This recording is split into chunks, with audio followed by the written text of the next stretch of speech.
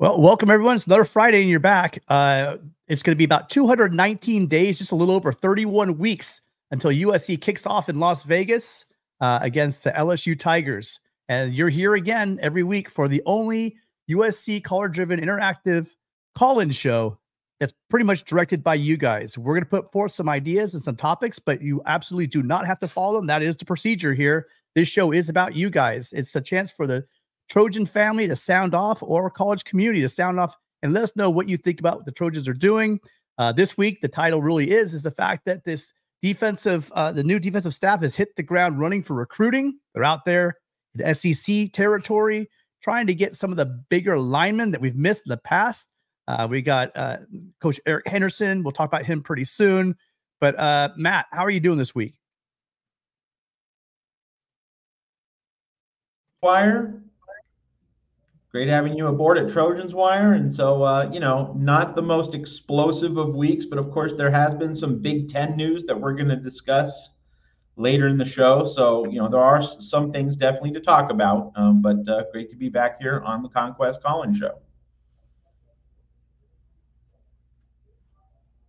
We got one call, perfect timing. We got one call right outside the shoot. Uh, caller, thank you for starting us off. What's your name? Where are you calling from? Uh, this is Manjeet from Imperial, California. What's going on? Well, happy Friday, Manjeet. How are you doing? I'm doing great. How are you doing? Do- doing great. Like I said, it's Friday. Let's do this. Exactly. Oh, yeah, I just heard you guys your your opening monologue. You're talking about recruiting.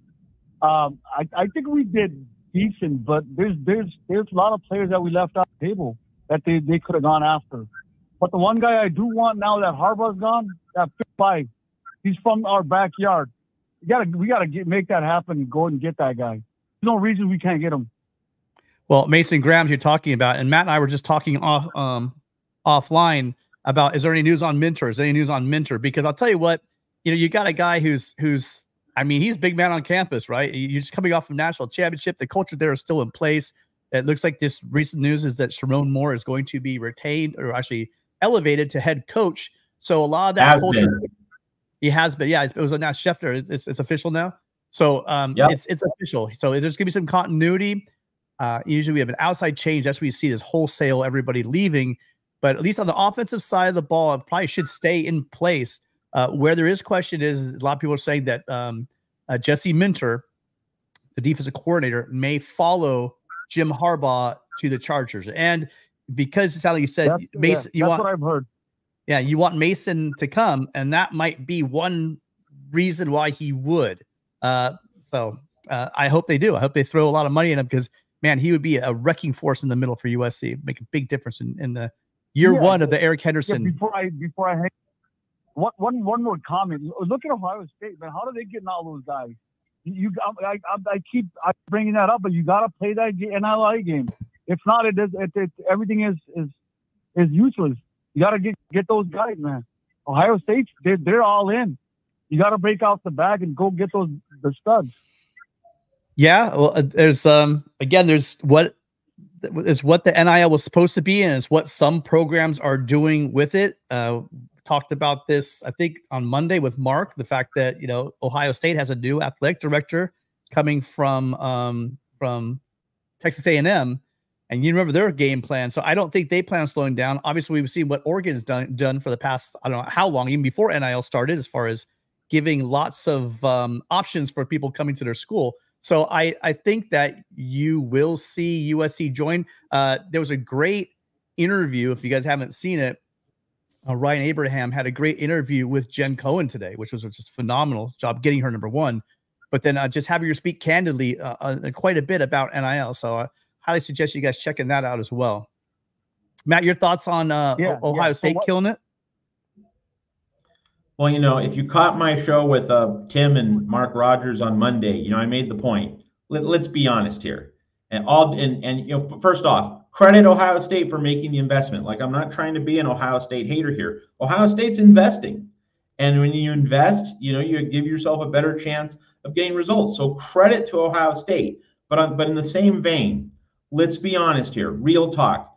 It's not as though recruits are just dying to play for Ryan Day. Come on, like like They're not saying, "Oh, th- oh, this Oh, is my path to say NFL." All in. I know, I know what's What? going on, brother. I know they got the, but we have the same thing though. Level the playing field. Well, yeah, but my point is, is that recruits are not going to Ohio State because they they just are enamored of Ryan Day. They're they're not dying to play for Ryan Oh, Day. You know, oh, I- who's gotten his butt. Hold on, he's gotten his butt kicked by Jim Harbaugh the last few years. So it's not about the coach; it's about the investment that Ohio State is making. So I I am agreeing with your point that.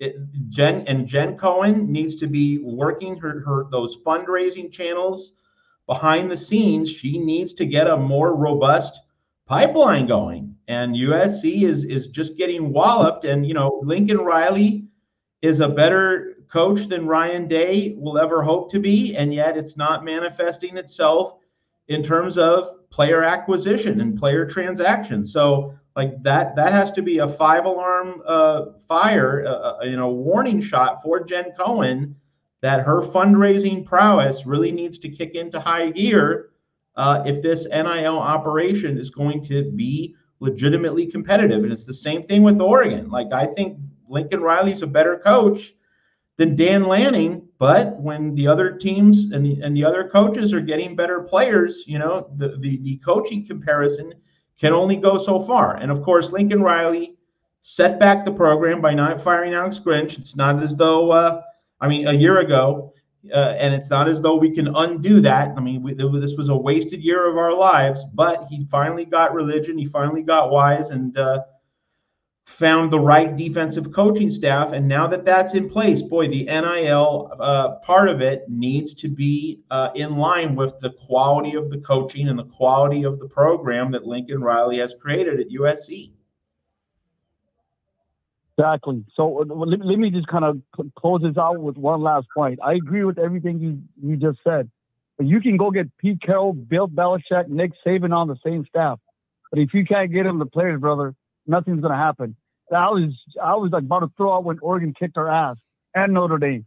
That can't happen, man. Come on. Yep, it'll be interesting to see if they get this thing turned around again. Uh, the, during that interview on two four seven, uh, Jen Cohen said that the, the fundraiser is going extremely well. Um, I saw who was it? Someone said they weren't happy with her answers. Um, was it Russ? I think it was Russ. Yeah, Russ. Yeah, Russ said you know he's not happy with her answers. You guys, there is a way that NIL is supposed to be done, and um, you know it, it it's gonna there's gonna be some more clarification. She did say in an interview that there's there's gonna be clarification on you know uh, what is permissible, what isn't. USC is not willing to push the envelope and jump across and start you know doing stuff that might come back to haunt them, like some of these other schools may find out later on, because there are guidelines and some and these guys are pushing the boundaries of that and there may be some ramifications down the road for them.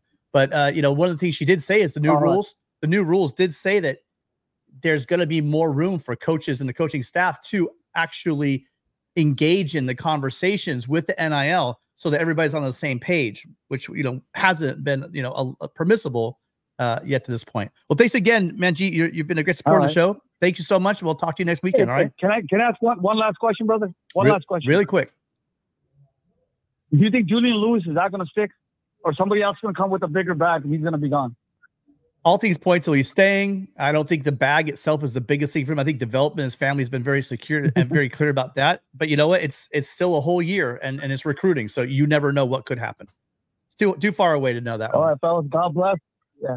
God bless you guys. Thank you. Uh, I'll listen to the show. All right, great call. Thank, you so you. much. Mm, Bye.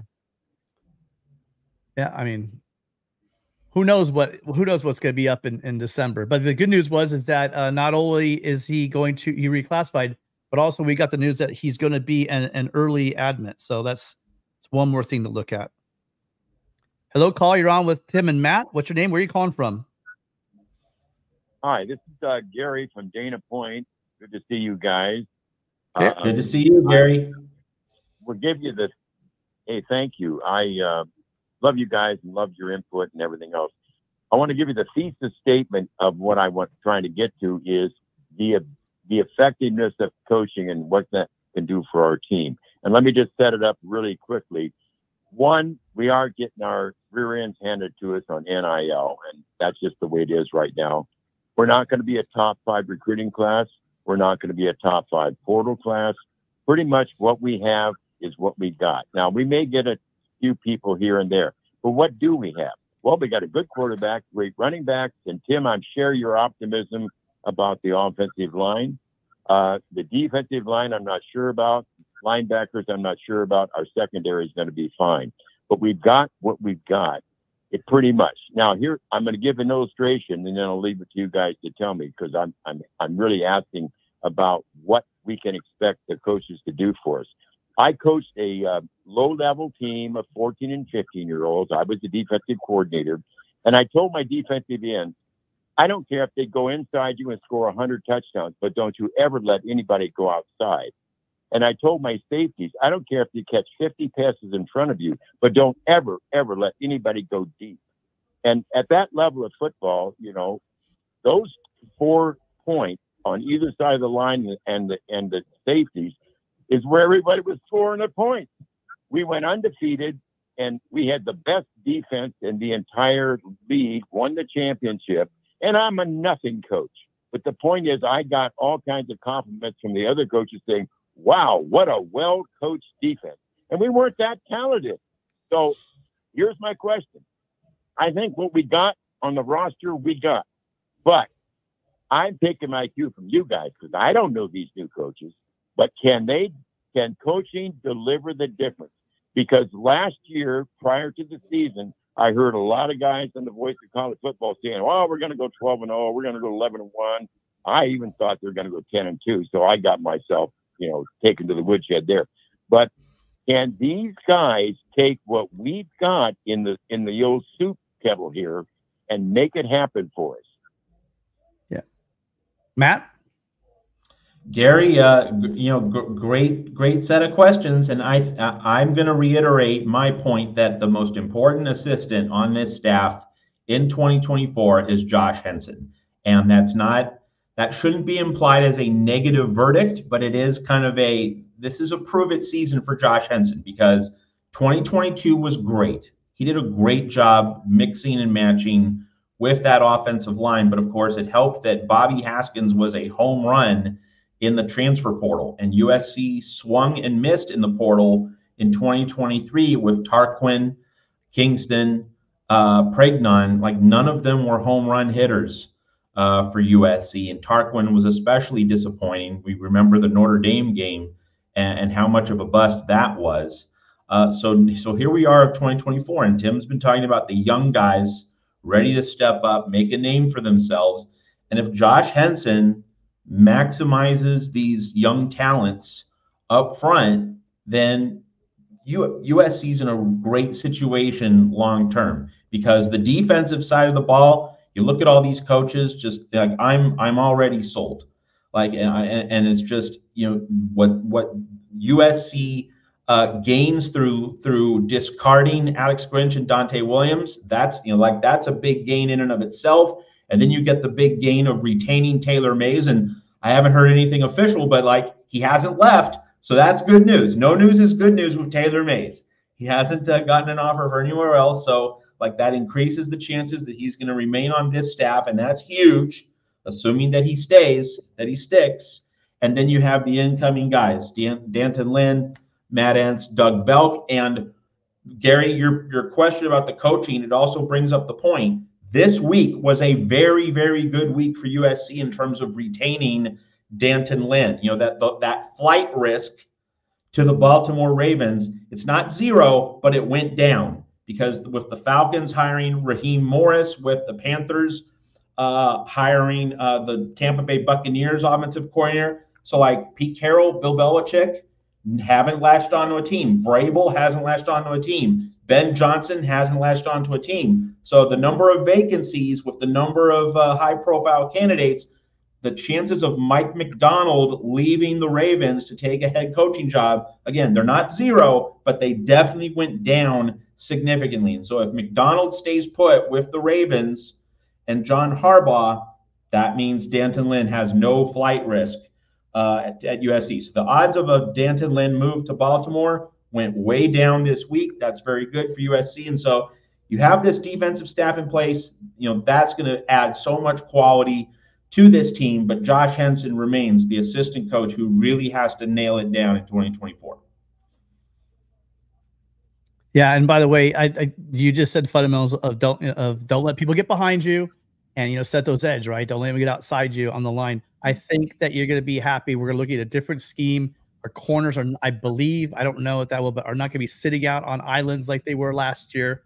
Uh, and I do think with Sean Nua and Eric Henderson teaching fundamentals, I think that's going to help a lot. And you know, we'll see D'Anton Lynn's uh, scheme I don't think we're going to see guys going right and left on us like they did last year. So, do I know? I absolutely don't know. I said what I say.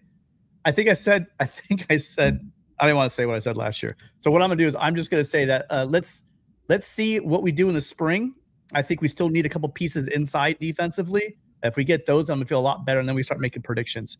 Thanks, Gary. Thanks for calling again. You can always count on a great call from you. Well, I love you guys, and thanks a lot for the insight. It really it means a great deal to me. So fight on. Fight on, Gary.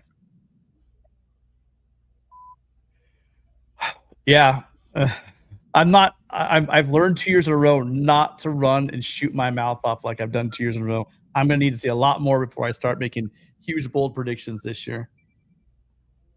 Good evening. Thank you for calling. You've reached uh, Matt, who's sitting here ready for your call. Uh, what's your name and uh, where are you from?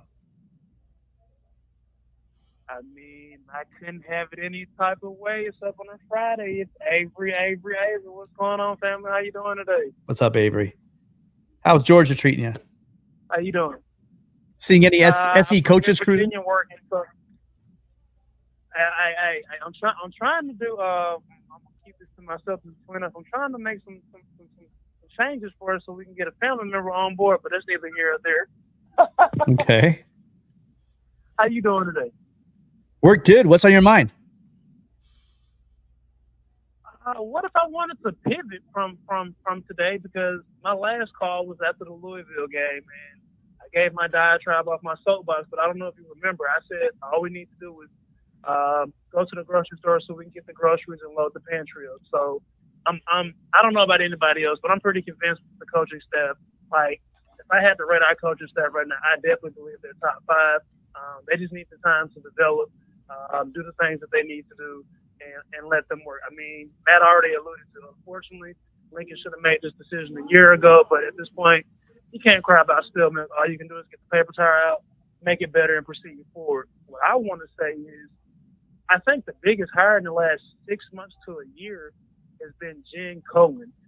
And I think one of the reasons that I say that is this same time last year, she wasn't in place. And I don't think there was anybody on the administrative staff that sat down with Lincoln to gauge his thought process and get him in the right direction to make sure that we wouldn't be here today. So I honestly think with her being hired, I think that she's going to be able to kind of bring Lincoln back to his senses and lead him in the right direction. And then this is really for, for, for the two of you. Um, I think Lincoln gets in his own way sometimes, and you say, well, what makes you say that? he didn't know Miller Moss was going to be as good as he's going to be. He really thought that Will Howard is better than than Miller Moss. So that's where I feel like sometimes Lincoln kind of outthinks some things, and I honestly believe that Jen Cohen is the yin to his yang. And I alluded to earlier last year when I was calling on the show that Lincoln doesn't need yes men around him. He needs people that are gonna they're gonna be real with him. They're gonna they're gonna rattle his cage sometimes, but make him make him think outside of his comfort zone. And I honestly believe that Jen Cohen is probably the, the biggest hire that we've had in a long time to kind of steer him in the right direction to make sure that he doesn't make uh, decisions like he made last year to hold on to Alex Grinch. What do you say? Well, Avery, I, I would say that maybe so you got to remember the timeline a little differently. I think maybe he thought he'd be able to get both, keep, you know, keep um I thought he'd be able to. I thought he thought he'd be able to keep all the quarterbacks in place. I thought he'd be. I thought didn't expect losing Malachi Nelson. I thought that he would bring in. um I mean, okay. So, bottom line is, is it happened. Miller had that game and it changed the trajectory. We don't know how much that affected Will, but you know he he obviously decided that that he was not coming to SC. I don't know if he was set on it. If you're a if you're a coach, you want to have as many options as possible. You know what I mean? And I, I, think he knew what he had with Miller, but I don't think he knew when Miller came out and had that game. I don't think that you know that he expected him after having one full week of practice to come out and play like that against a very good Louisville uh, uh, defense. I guess that's the best way to say it. I, I don't think I think sometimes fans think that coaches are perfect and see the future. Things are dynamic and they change, and we don't know exactly what happened. You know, we don't know what Will Howard was thinking. So, uh, Matt, your thoughts on on Will Howard's uh, change over to Ohio State? I, I don't think this is particularly complicated. I mean, we don't know exactly what happened, but like Will Howard visited USC, and but he didn't commit. So that tells me Lincoln Riley and Will Howard had a conversation saying, "Hey, let's wait until after the Holiday Bowl. Then we'll see where we are." The Holiday Bowl happened. Boom. Choice was pretty easy. Like I, I don't think it's this amazing puzzle you know, like a like a Hercule Poirot uh, mystery or anything like that. Like I think just they played the waiting game. Let's see what happens in the Holiday Bowl. We all saw what happened. Two plus two equals four. Yeah, great, great, great point, uh, Avery. Thank you so much for calling, man. Hey, glad to talk to you guys. Fight on, continue your, your success on the show. Thanks. Fight on, Avery. Yeah, we may shout never know. To, shout out to Gary from Dana Point for that $20 super sticker. Thank you so much, Gary. We really appreciate you. Yeah, Gary. Thank you. Well, we, we do. Yeah, we got more calls. Hello. Thank you for calling. First off, yeah, thank you for being here. Second, thank you for calling. You're on with Tim and Matt. Um, what's your name? Where are you calling from? My name is Augie Garcia, and I'm calling from Oxnard, California. Okay, what's Hello? on your mind? Yeah, hi. What's on your mind? Uh, well, I take you back to the coaching aspect. Um, I think we, I played with little, with more, uh, with Vic Cuccia at LA Wilson. We were city champs four years straight back in the '70s, and we weren't top uh, four stars, Division One players. We were just a team. And uh, Coach Cuccia, son Ron, and Steve Clarkson followed afterwards. We are just uh, a well coached team. And with all that said, coaching makes a difference.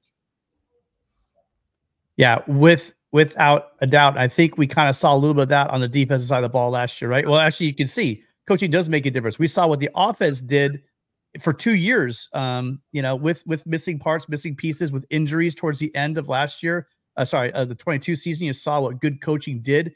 I mean, there's no reason that USC should have still had a chance in that fourth quarter with their quarterback on one leg. They're they're they're missing their their center and their and their left uh and their left guard or left tackle, and yet we're still in that game. That was all coaching. And on the flip side of that, last year in 2023, I think we did have some very talented players, but they just weren't coached up and they weren't put in a position to win. And we saw what happened last year. Matt, coaching.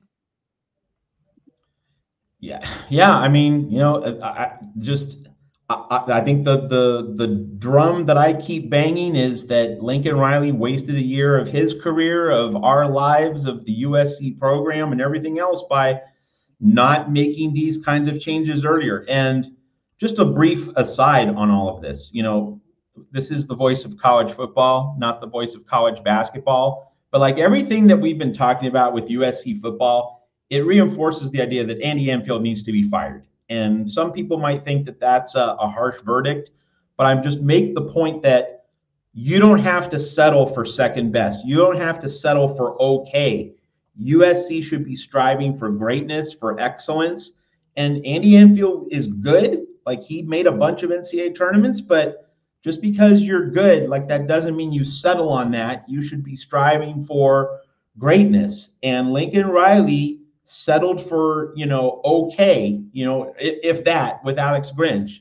And he finally realized, you know what? No, I need I need excellence everywhere on my staff. Like I can't afford to have coaches who fall short of, you know, a very high bar in terms of coaching technique, in terms of player development. And it's, you know, it's a shame that he had he had we had to suffer through the 2023 season for Lincoln Riley to learn that, but at least he learned it and at least he burned only one season. Like this didn't drag on for two or three years. What a disaster that would have been. So one year was wasted, but but now he has pieces in place. And I reiterate that with Taylor Mays staying, you know, I, I we we ha- we have to remember just how good that secondary looked in the Holiday Bowl in terms of tackling, in terms of knowing where to be. That was Taylor Mays. Taylor Mays did that. He did the thing. And so with Taylor Mays staying, uh, that's just absolutely huge. And that at that point can't be emphasized enough in terms of how much better this defensive uh, coaching staff is going to be relative to last year. No. Yeah, are there any particular um, moves on on the coaching that you that you're looking forward to this year? There are quite a few to choose from. Well, I believe that everything's moving forward. Uh, all good. We can't look back in the rearview mirror. We just got to press on and fight on, and uh, the best is uh, yet to come. And looking forward to uh, an awesome new year. Absolutely, and a lot to look forward to. You know, joining the, the joining the Big Ten uh, again. Like I said, we're, we're facing off to starting that first game in in Las Vegas against LSU. It's gonna be it's gonna be. We can't promise a great year, but it's definitely gonna be an entertaining year and a very fun year, full of storylines. Just facing all the new conference and and this really rough schedule. But Augie, really appreciate your call. I uh, hope you make it become a regular caller. Thank you so much. Awesome. Thank you. And fight on. Yes, sir. It's one team and believe in the dream. 10 4. All right. Yep. That, that's the kind that's the kind of uh, energy we're gonna need. Because I think, you know, at some point during the year, there's gonna be a lot of people questioning. I want to say we're gonna go, you know, 12 and 0. I want to say we're going 11 to 1. But with this schedule and the, bringing in a new, you know, Lynn was able to turn around really fast at UCLA there's no guarantee that's going to happen here. There's going to be a lot of moving parts, new people moving in, people learning a new system. Offensive line, I think, is going to be very talented, but I think again they don't have a lot of time playing together. It'll be interesting what we see early because I think that it's going to be tested early. Two of our first three games, you know, we start with LSU, and I believe the third game of the season. So fourth game is going to be uh, in Michigan, in Ann Arbor against Michigan. So it's going to be a really quick wake up call for these Trojans. Hopefully, they can answer the bell. Well, Matt, I don't know why, because I was pretty fast with the phone calls tonight. Uh, we did lose four calls. Oh, maybe they're calling back. Here we go. There's one. there we go. Uh, good evening. Thank you for calling in. You're on with Matt and Tim. What's your name? Where are you calling from? Hi guys, it's Dave from Iowa. Dave, how you doing? Good, good, good. All right, so I'll get right into it. I got two questions, and it's it, one. It's about a, but you know, in terms of just regular college football, a potential coaching staff, um, uh, another coaching uh, job for uh, for other coaches, but as well as from their perspective. So, first question is: so back in 2018, when Herm Edwards was coaching ASU, he had the former, or at you know, at the time, the former Bengals head coach be his personal assistant for those kind of game time decisions, whether two point conversions, onside kick, regular kickoff, all that stuff. Do you think in today's world, the, um, the the entire college football world could we, we could potentially see that since we are seeing head coaches make questionable decisions, so to speak, from the fans' perspective?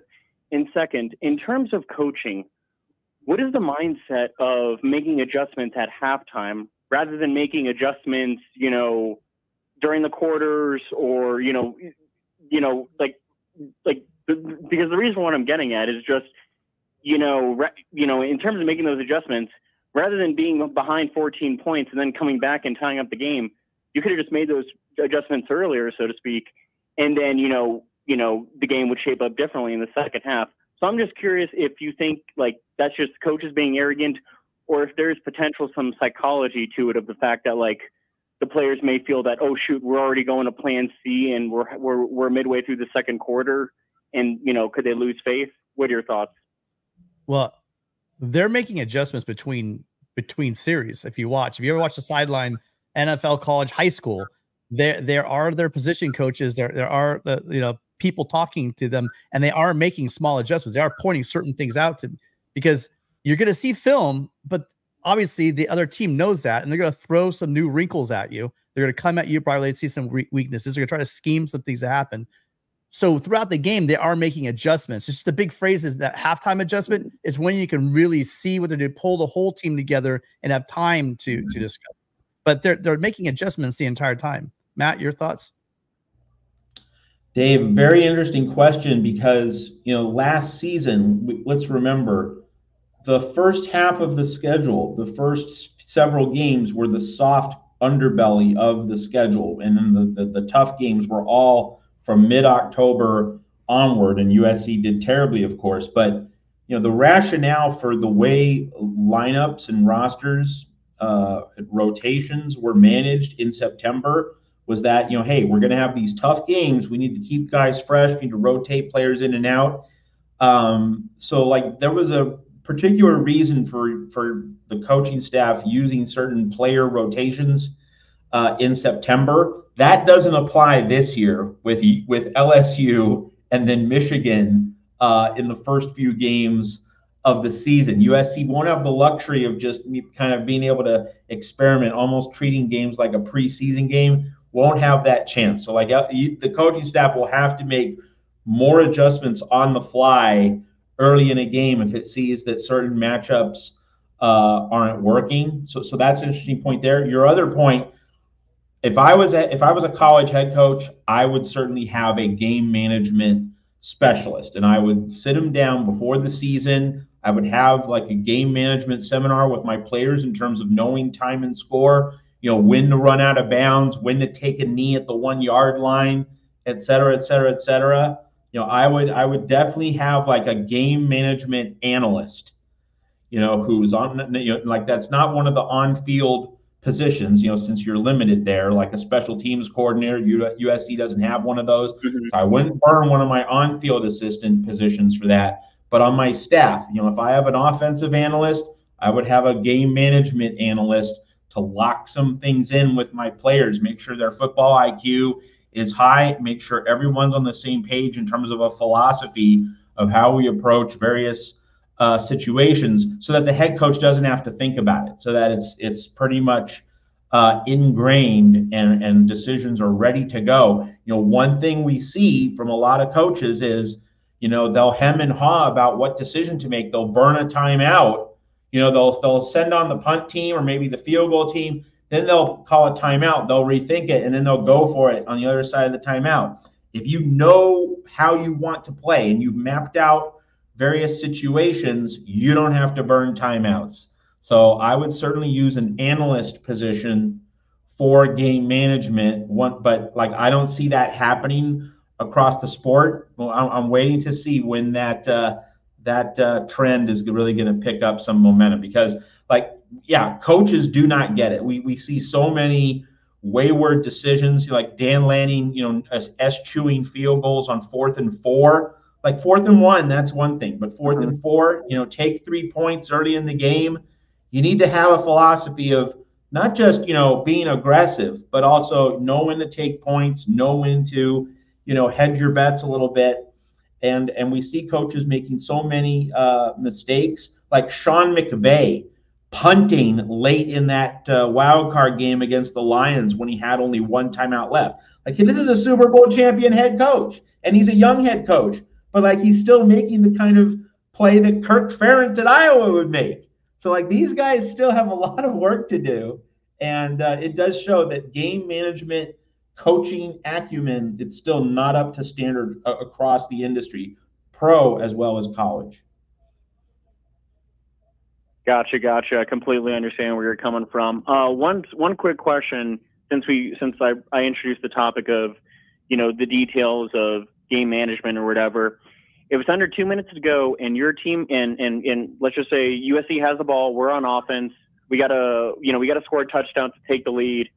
Um, would you rather have USC like just score score you know not ASAP but you know score as fast as possible kind of deal and then have the opposing team you know re- really get that pressure of like okay it's up to the offense to actually get a touchdown kind of deal. Because in my mind in today's world both in the NFL and college especially with the new rules or whatever you know these coaches are just you know draining out the clock which in the moment it makes sense but I find it you know, honestly, 70% of the time, 70% of the time when, when you're, when you, when you're the coach, you're that coach, you're on offense and you're draining the clock or whatever, 70% of the time it kind of bites you in the ass. What do you think? Well, you know, it's all very contextual and situational, Dave, right? Because you know, with with an Alex Grinch coach defense, you need to whittle down as much clock as possible. You need to make sure you're scoring with under 20 seconds left. Because like even Bryson Barnes was able to drive the ball down the field for a winning score late against USC this past season. But now if you're playing the Iowa Hawkeyes offense, you shouldn't really worry too much about uh, leaving time on the clock. You just score, score against a good Iowa defense, and like your your defense should be able to stop uh, whatever pathetic Iowa quarterback uh, gets the ball. So it's all contextual. You know, if your defense is really bad or Tom Brady is on the other team, yes, you should you should. Like let's remember Bills Chiefs, you know, 13 seconds for the Chiefs. Like the Bills actually did a decent job of scoring late and they st- it still didn't work in that uh, playoff game. Mm-hmm. So it's really all very contextual, but but like good coaching, you will te- you will have your players prepared before a game saying, okay, this is the caliber of opponent we're facing. You know, these are our strengths, these are our weaknesses. This is how we want to play the game. This is how we want to deal with an end game situation when we're on offense, when we're on defense. Like coaches need to be oh, uh, have that all mapped out beforehand, and I don't get the sense that that's true predominantly in the industry. And remember, a lot of people you hear it all the time when it's down by the goal line. People say, "Oh, you should have taken a knee at the one yard line, or they, they should have gone down there and not scored and you know burned some more time off the clock." How many times have you seen a team inside the five, and now all of a sudden you got a false start, and now it's and now it's third and nine from the six, uh, third third and six, you know, third and goal from the six, instead of being knocking on the door to score, or uh, God forbid a holding call, you know all all kinds of things can happen, and and a lot of them not good. A fumbled snap. We remember we saw the end. Think about the end um, of the Arizona game last year.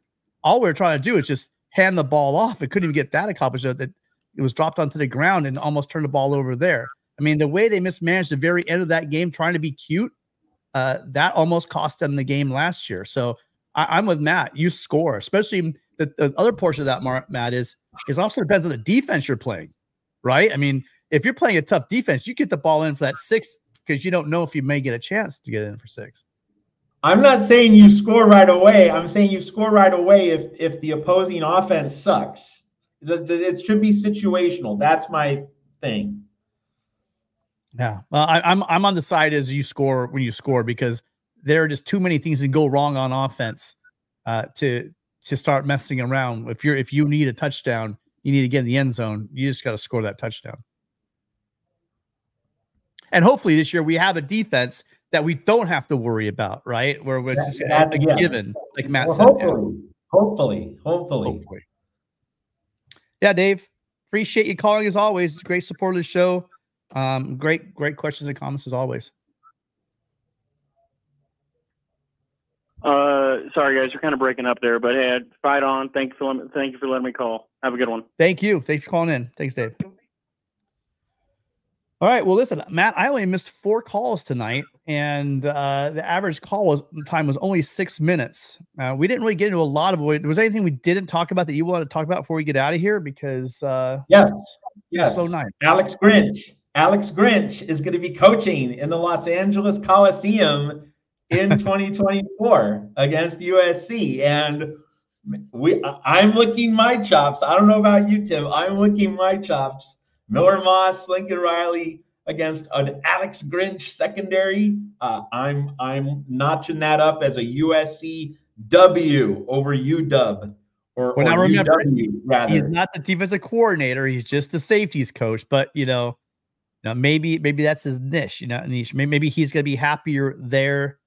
Now, here's a bigger question. I was on the Light the Torch. I was in the I was in the chat, the Light the Torch mm-hmm. podcast, and they're talking about that fact that how loud are they going to boo out? Now, I'm going to be on record saying that I wasn't happy with the way the, the defense has fared, but I, I, I really would hope that USC fans have a little more class. Uh, it's not like the guy was losing on purpose and have a little more class than sit there and boo a man. Uh, but you know what's going to happen. So the question is going to be who's going to get the louder boo? Is it going to be Alex Grinch when he comes out as a safeties coach? right? Or the next year when uh when we have uh you know Clay Helton's coming to the Coliseum, who's going to get the louder boo, Clay Helton or Alex Grinch um, in 24 and then in 25? So that'll be interesting. That'll be interesting to see. Hopefully, again, Georgia fans will show a little more class and a little more restraint, and we uh we don't we don't we don't light the roof off with uh, with a bunch of booing.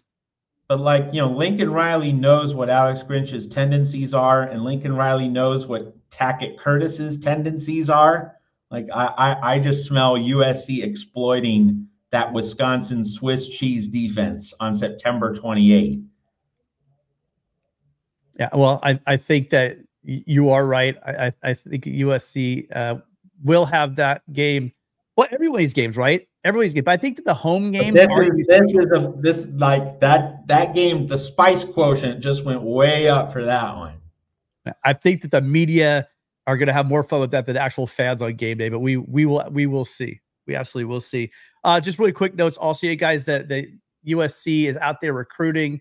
Um, they were able to go into uh, go into uh, the South uh, and grab a Texas commit. Now that he hasn't, he's not flipping, and I'm not saying he's gonna flip, but the instant impact that we're having, uh, Eric um, Henderson having, is now you have uh, our coaches going out into living rooms, and kids are now, although he, Texas commit, he has decided to come out and visit USC. So this is the instant impact that this this uh, recruiting uh, the recruiting chops. We were talking about, we're worried about Eric being able to go out there and into and what kind of recruiters could be. His elected personality, his use of social media shows us that he's going to be someone special out there. So um, get ready for that. Also, this weekend, Junior Day. Uh, we can go into that list really quick in a moment, but we got our call. Let's see, grab this call real quick, Matt. Yep. Hello, you're on with Matt and Tim. What's your yep. name? Where are you calling from?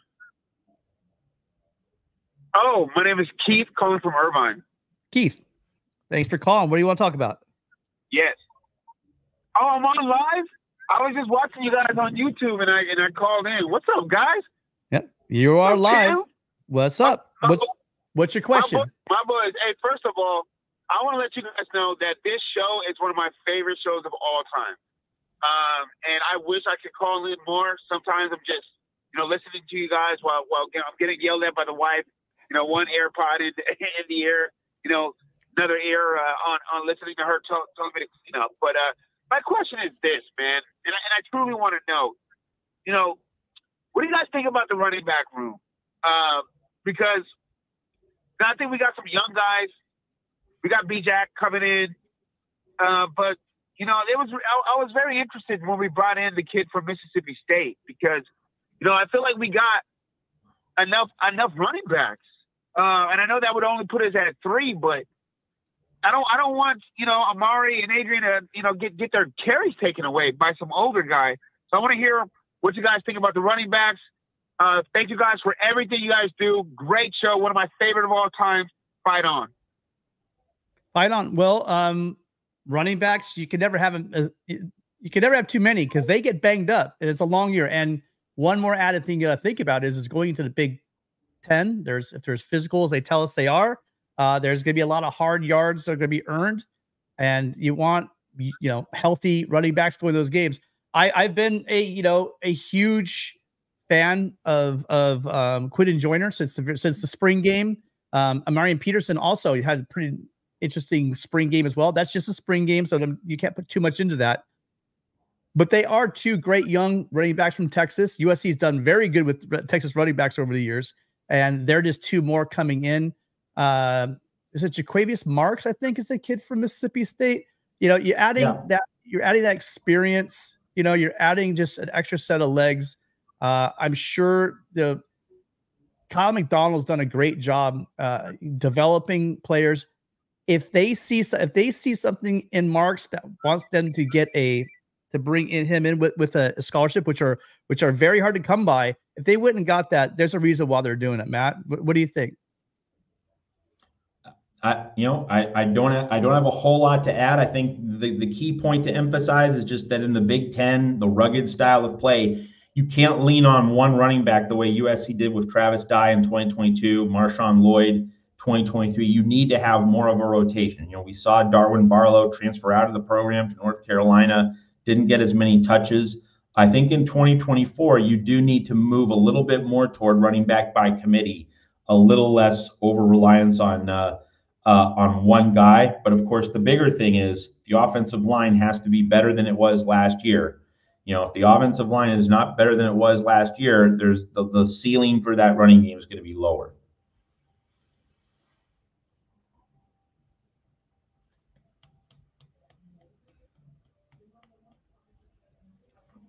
Sorry about that. Uh, Keith, uh, I think we lost Keith, um, but I hope your wife gives you a break so you can come in and call more often. Great question. And I, again, I, I do think that uh, that young running back room will make its mark on this season. Slap Happy coming in with the $5 uh, uh, super sticker. As always, Slap, you're always a huge supporter of the show. Thank you so much for being here, even though you were late, but be late, as you always say. So uh, appreciate you being here. Also, while I got all you guys' attention, if you guys could, I've been trying to behave myself and not really go into it, but we can really appreciate you guys hitting that like button so more people can see the show. Also, another big thing is a, uh, Matt and I are really trying to get this channel to 5,000 um, subscribers. So if you would just take one second, if you're not subscribed, to hit that subscribe button means the world to us. Thank you guys all for being here tonight. Um, it's it's one of my highlights of the week coming on Friday and be able to talk to you guys. So speaking of that, um, Caller, hello. You're on with Matt and Tim. Uh, what's your name? Where are you calling from? All right, this is Uncle Boom. I'm from Northern California in the Bay Area. I know that name, Uncle Boom. How you doing? Doing good, doing good, guys. How are you guys? Doing excellent. What's on your mind tonight? Great, great. So I got like about a two, two it's a two part question. So one, uh, Matt actually uh, hit on um, Darwin Barlow about 30, 30 45 seconds ago. But what was the deal with him not being utilized the way he should have been? I mean, I understand who we had, Marshawn Lloyd and Austin Jones, but it felt like Darwin Barlow was probably a better runner than Austin Jones was. Um, and then two, how do you guys feel and see our new defensive coaching staff uh, going up against you know, the likes of a Michigan defensive coaching staff, Ohio State defensive coaching staff, uh, Minnesota, Iowa. Uh, that's so that's my question. Do you mean going up against them in recruiting, or do you mean uh, our defense going against our offense? Well, recruiting, recruiting, and measure off- You know, scheming for yeah, we're scheming for the offenses in the Big Ten. Matt, you want to take? Well, you want to hit that 1st one? I am sold on this defensive staff, and I'm sold on. I guess I need to explain why I'm sold on this defensive staff. I mean, part of it is what D'Anton Lynn did at UCLA in one year. Like he didn't have elite studs, you know. I mean, he had a few really good players, but like this was it was not an all-star roster that he inherited at UCLA under Chip Kelly, and he whipped that group into shape in one year. So that gives me confidence there. But the other thing is Matt Entz, national champion uh, head coach at the FCS level, Doug Belk. He's been a, a, a defensive coordinator the past few years at Houston. I mean, all of these guys have elite credentials. Like these guys, their their positions are higher than what you'd ever expect. You know, in terms of like uh, you know a defensive coordinator willing to take a demotion to be a secondary coach, an FCS champion head coach being willing to become linebacker coach. You that is those are not common moves. Like so, it's not just the quality of the guys, but the experiences that they have uh, under them uh, in recent seasons. Like th- these guys have seen so much and they've achieved so much that you put them all together. And, and, and just to kind of circle back with Alex Grinch and Tackett Curtis both being at Wisconsin, you know that reinforces it brings back the memory that like Alex Grinch fell in love with Tackett Curtis and he probably should have been he should not have played as much as he did. And alex grinch not beyond not coaching well in terms of scheme and technique and player development he also didn't put the right guys on the field consistently. And i think that one of the things with lincoln riley it's not just a d'anton lynn thing at coordinator but it's d'anton lynn with entz with belk with taylor mays. You have all those guys in the room. I think they're going to be collaborating on decisions. It's not just going to run through one guy. And you know, Lincoln Riley by handing the keys to Alex Grinch was just a disastrous decision, not just because Grinch wasn't very good, but also because Grinch had too much authority. He had too much say so uh, about who played, who didn't. I think you're going to see these defensive coaches collaborating. Like that's why Matt Entz is a defensive assistant to D'Anton Lynn. D'Anton Lynn is much younger than Matt Entz is. You're going to have Entz and Lynn kind of as a, a sounding board type relationship with Doug Belk and Taylor Mays also being involved. You get those four guys collaborating. I think you're going to see far fewer errors, not just in terms of scheme, but even more centrally in terms of the, the right players are going to be playing and and like quality is going to be rewarded and mistakes are going to be punished. There's going to be the accountability we didn't have with Alex Grinch. So that is why. Like I, I keep saying, I'm sold on this staff. I owed all of you an explanation. That's my explanation. Yeah, and, and remember, so your your other part of that question is is Jesse Minter is most likely gone, right? We talked about earlier in the show. He's probably going to follow Jim Harbaugh to the to the Los Angeles Chargers, um, and who knows what that next staff's going to be like? You like we know you bring in a new DC, he's going to bring in his own guys. So I don't know what's going Michigan's going to look like. Um, to be honest with you, uh, but that we know that Mason Graham most likely back there, and Will Will Johnson. You know that's a pretty good. So you got a nice cornerstone on the on the line, and you got a lockdown corner. It's about as good as anybody. If they can hold on to them, if the new staff could hold on them, they should be fine. Jim Knowles and, and the Buckeyes had one of the one of the best off uh, defenses in the country statistically last year. So um, you know, I would imagine they would keep up a little more uh, with the additions. So with the additions that they have, you know, adding to the secondary, I forgot about, I'm blanking it on on the safety from Alabama. Um, they, they they're they're beefing up, and so they're they're going to be nasty. And then you you left out Oregon. I mean, as much as I hate to say it, I'm not a Tosh Lupoi fan, but they have so much talent now on that team. Know, even the freaking quacks are going to be good. So um, I I have every bit of faith like Matt does in this new sec- this new uh, defensive staff. I think, like we talked about, D'Anton was able to do it really quickly, turn that around at UCLA with one great player and some pretty good players and a bunch of guys. Uh, I think the talent here at USC, uh, we don't have a Laiatu Latu on our team, but we do have, you know, we do have a Bear, Bear Alexander and whoever we could bring in from the spring, plus a ton of young guys coming in. I mean, I'm really excited to see you know Elijah Hughes take that next step. What can Fountain do in his freshman year? That you know that's something that we we haven't seen yet. Who knows? Can Lucas turn it around? I mean, there's there's a lot of things to look forward to on this team that we haven't seen yet talent wise because I think it was really dysfunctional last year. So th- th- those are things that we can think about. And then going back to Barlow, you brought um, uh, Barlow. A lot of these personnel decisions that USC has made, we don't get to see. None of us get to see practice. Maybe these coaches uh, see something we don't. But Kiel McDonald about is about as good as they get as far as a running back coach as I'm concerned. He he develops guys. Um, he's got a good eye for for uh, getting that talent and evaluating talent and bringing it in. So I'm gonna I'm, I'm gonna take his um his evaluation of the situation. But I'm with you. I mean, the way whenever we saw Darwin get in the game, he, you know, he could break the run. He had good vision. You know, it was like one cut and bam, he's gone. And good luck. If you're in the secondary, you want to stop that guy. Uh, I'm with you, Uncle Boom. I got no idea why he to see more time on the field. Anything else Thanks, for us? guys. Appreciate it. You good? No, that's it. Well, awesome questions. Thank you so much for calling in. Appreciate it. Thanks, guys. Have a great night. All right, fight on. Fight on. All right, Matt, we got another call in the call queue. I thought we were getting out of here on time. we got a couple lining up here. Um, there was one thing I want to talk about as well, but let's let's take this next call really quick. Good evening, caller. Thank you so much for watching, and definitely even more, thank you for calling in. You're on with Matt and Tim. Uh, what's your name? Where are you calling from? Tim and Matt, what's going on? This is John from Detroit. What's happening, guys? Good to hear from you, John.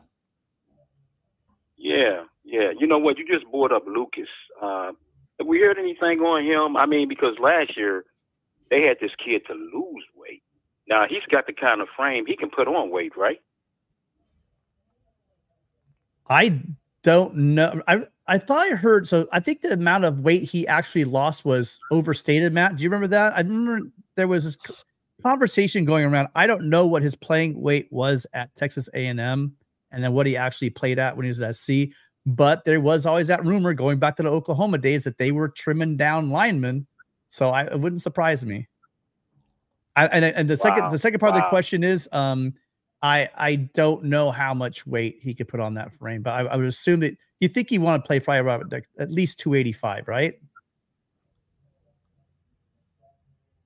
Okay, okay. That that I mean that would be good. Now, where do we have him projected at plan though? Could we? I mean, you know, because I think what I read when we first got him, we could play him on the inside or on the outside. And um, you know, then when I heard that basically they had trimmed some of the weight off her, I was like, wait a minute, what's this all about?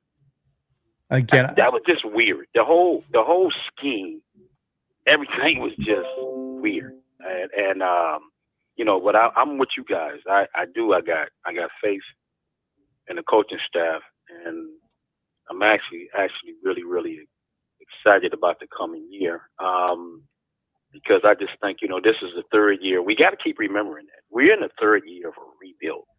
Okay. I mean, I mean, we don't want to say rebuild at USC, but that's the truth. That's what it is. Now, the first year kind of surprised us, um, you know, and of course, last year we thought we was going to make even a, a bigger jump because of the quarterback. Um, but um, this year's an important year. Um, just um, you know, I don't, you know, I, I, I just the skies can be the limit, and and and for most of the people are saying that basically with us, they know that offensively we're going to be fine, but they just want to take a wait and see and see exactly what the, what uh, what the defense is going to do. You know, and I'm I'm like you, Tim. I I stuck. Uh, I was talking a lot last year. I'm going. I'm Right. going to be quiet. Gonna slow it down this time. I'm yeah, I think that's a good call for both of us. Yeah, yeah. I'm I'm gonna really, really, really, really, really uh slow it down. But listen, man, that's all I had, man. Uh, uh great show. Glad that I was able to get in here at the last uh part of the show. But uh man, you guys uh, are really, really, really doing a great job. And um uh but yeah, being here in Michigan, I have been hearing pretty much that Jesse Minter is probably going to go with um is probably going to go with Jim Harbaugh. That's probably what's going to happen. And I've never seen a, a, a it's kind of strange. You losing your coach, and then people here are kind of like, well, you know, eh. They say he's a great coach and all this type of stuff. But he, what he did was he delivered. He delivered. He delivered. He he delivered a championship, and that's what they wanted. So leaving at this time, I mean, they they figured they knew they couldn't keep him because they know he's always he's always just always chopping at the bits to get back to the NFL, and that's exactly what he did. But um, I don't know who they're going to bring in next, but it's just kind of you know every year people are some of them are really not a people a lot of not a lot of people are not really upset, you know. And I mean, and I get it, I get it, I get. It. But he did he delivered for him. He delivered for him. It's been 19 years uh, since we won something. Uh, we we we gotta we gotta get it together. We gotta get it together, fellas. We gotta get it together. That's all I got tonight, though, man. Great show, great show. Right. Though. Th- thanks, John. Yeah, I, I, it has been a long time for USC. It's been a longer time for for Michigan. I mean, they were. I, I, my favorite joke was is that they had one national championship my mom's lifetime, and she's like seventy five years old. So, I mean, the the the, the idea now that they've won one far more recently, obviously, than we have, is a bit painful. But um, John Harbaugh is just like I remember a couple years ago. Was, my dad and I were talking about the fact that certain coaches are NFL coaches and they're going to go back to the NFL. And you you knew that Jim Harbaugh, uh, it was sitting down and looking over at John's, you know, Super Bowl ring, you know, and saying, "Ah, "Man, I want one of those." You know, just like we knew with Pete. Pete was always. We just knew it was a matter of time before Pete went to the NFL. He because these guys they come and they and they and they get a national championship at college level. They start looking back and saying, "Okay, you know, you guys kind of ran me out of the NFL. Now I'm coming back and I'm going to prove you guys wrong." And those Type A personalities are the kind of guys that, that are going to go do that. Well, Matt, I think we uh I think we have one more call. No, I I think we we had one, but they're uh they they've they've taken. I'm very proud of the fact that I've been again the average call tonight waited six minutes, so I brought that down from from tw- 22 minutes before last time, uh, all the way down to six minutes. We got one more call, you guys. So we're gonna take one more call, and uh, Last after this, call. Out from, from good 22 minutes before Oh. left. Uh, caller, could you turn your radio down or, or sorry, radio down, your, your, TV down in the background? Um, what's your name? Where are you calling from? Hello. Hello. Hi. Will, what's up? Oh, Will, how you doing? Will from Virginia. Will ND, how you doing tonight? Good. Good. I came with the USC question, so I know this is far out in the future, but I've been following recruiting pretty closely lately. And uh, I know um, Juju went up to 2025. So, and uh, ND brought a guy over for junior day, even though he's only a sophomore, Brady Smigiel from Newbury Park out in Cali. And I know SC is on him too. Are you guys like, have you guys heard much like about getting him? Because he's pretty highly ranked up there in the rankings. Thanks, guys. He's in the 2025 class, Will? No, I, I, will be first of all admit I'm not um I I am not up on recruiting like I used to be. I'm getting back to it, but um you're saying that you're saying there's a there's a guy who who USC and Notre Dame are recruiting that's a 2025 quarterback. Is that right? Will? Will said 2026 in the chat. Oh, 2026. Um, uh, I don't, to be honest with you, I, I do not know of, uh, I'm, I'm not up to speed. I would definitely not be the first source for 2026 quarterbacks. Um, I do know that the only 2026 quarterback that we were looking at for the longest time was, was uh, Julian Lewis, as you said, though, who's reclassified. Um, I do not know uh, who that, what that name would be. Matt, are you familiar with that, the quarterback? Can't say that I am, but um, you know, uh, like, you know, I, I'm worried about the 2024 quarterback room and how uh, Miller Moss and Jayden Maiava get along, how that dynamic works out. I think it's worth saying that, you know, I I would personally give Miller Moss the keys to the offense for the LSU opener. I think he's earned that much. I think you know you, you saw how much the players trust him. That's really hard to turn away from. I mean, like maybe Maiava is slightly better in spring ball. Let's say that happens.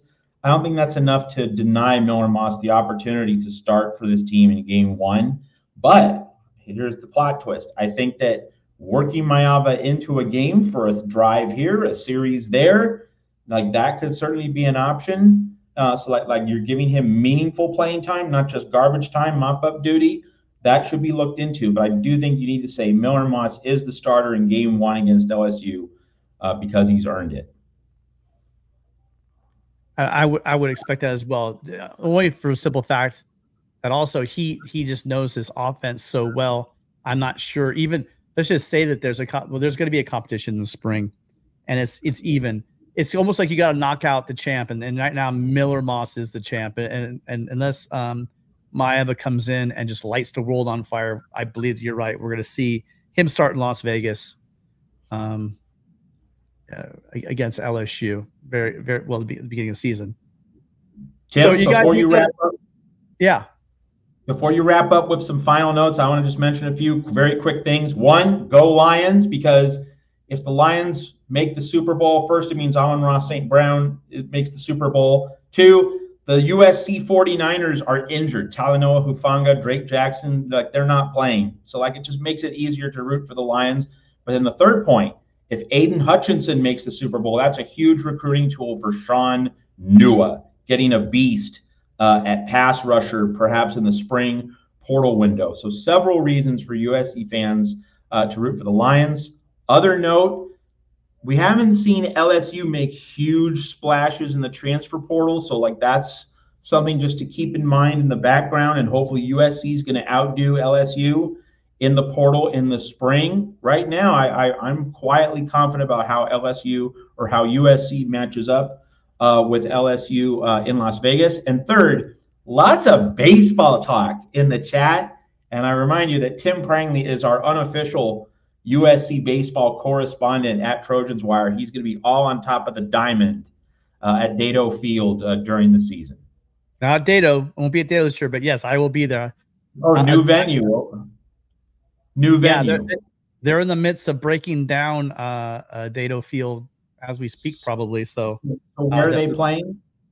I that I, I want to find that out. I keep every week I write ah, down a note. Okay. So I'm I'm gonna check out where where they will be playing. Um, and also uh, speaking of uh, NFL and our current coaching connections, Eric Henderson coached the defensive rookie of the year uh, uh, this year for the Rams. Kobie Turner was uh, named uh, the AP Defensive Rookie Player of the Year. So uh, there's another feather in the cap for already uh, well liked and well known coaching staff uh, addition that we got with uh, Eric Henderson. So we could add that one in there. Yeah, I got a bunch of notes I was going to get to, but we we got some really good calls tonight. Again, as always, thank you so much, Manjeet, Gary, Avery, Augie, Dave, Keith, John, Uncle Boom, um, and Will end at the end there. Sorry if I if I missed your name. I I, apologize. I just looking off my quick little chicken scratch.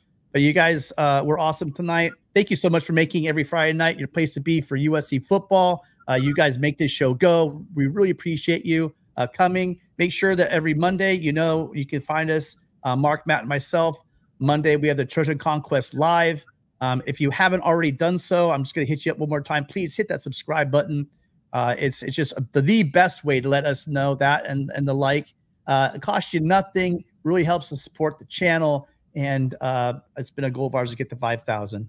But we we appreciate everyone as always spending your Friday with us. We are not the last, but we are the first USC caller driven call in show where the call is literally yours. Uh, make sure you stop by here next week at 6 p.m. As always, we will be here. Make sure you check it out. Matt and myself, our articles in Trojans Wire. The links are in the description. Uh, you guys are the best fan bases. You guys are so many loyal listeners out there. Appreciate you guys, and we'll see everybody next week. Right until next Friday at 6 p.m. Oh no, until Monday at 8 p.m. Pacific for our show. Uh, it's Matt and me. Uh, fight on, everybody, and we'll see you guys sometime next. Oh, and give Reggie his damn trophy back. Fight on, everybody. You need to update that number, Tim. oh yeah, good point.